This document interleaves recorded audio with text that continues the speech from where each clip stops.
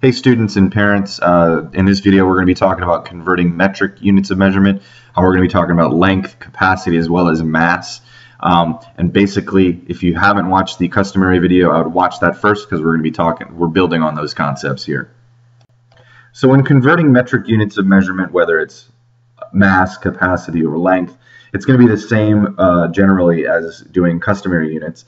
When we're looking at a larger unit to a smaller unit, or a smaller unit to a larger unit, the operations we do are going to be the same. So when we're going from a larger unit to a smaller unit, we're going to multiply. And when going from a smaller unit to a larger unit, we are going to divide.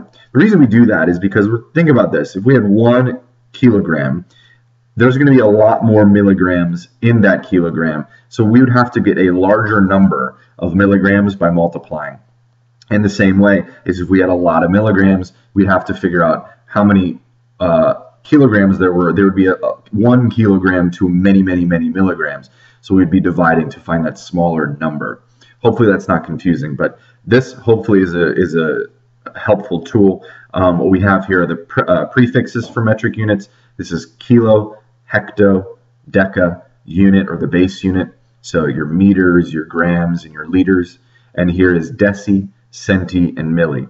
Now the great thing about this is that it is all by powers of 10 or by the place value system. So when we're talking about these numbers, one thing we can do is we can jump uh, our, our decimal down the line as many times as we're going to go. So let's say we had 3 meters and we need to figure out how many millimeters. Okay, now I know 3 meters. Don't be confused because I know this is an M, but that's a milli. That's this guy. That's the prefix. Okay, the meter is the base unit. So if we start at the base unit, how many jumps is it going to, well, which, first, which direction are we going to be going to get to meters? We're going to be jumping to the right. So if we look at our arrow, we're going to be multiplying. So we're going to multiply three times, well, how many millimeters are in one meter? Well, I know that there are 1,000, but an even, even cooler, easier trick to do would be just see how many times, how many jumps it is from your base unit to millimeters, so or the milli uh, uh, prefix. So we're here once, twice, three times. So what we can really do is we can put a decimal where it originally is in three, make three jumps, and then we're at 3,000 millimeters.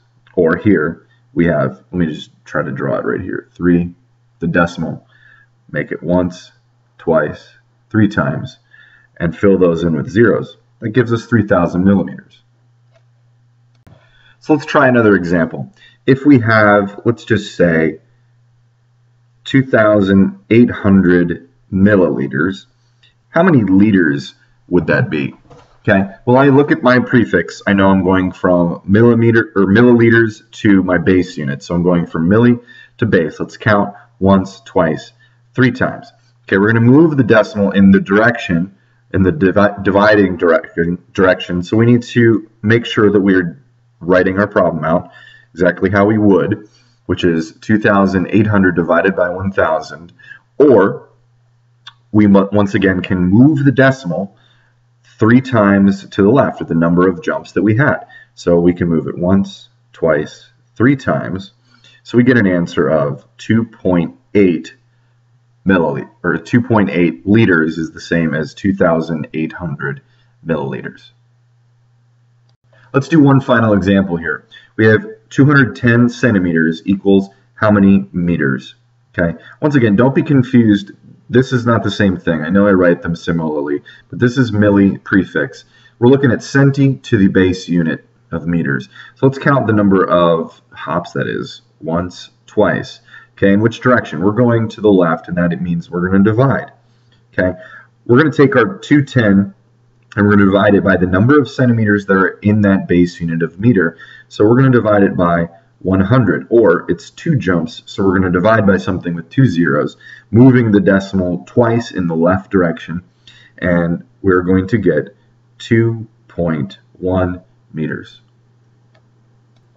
Hopefully this video was some help. Um, if you still need some additional practice, there is a link down in the description uh, to some uh, other resources that can help you practice at home. All right, see you in the next video.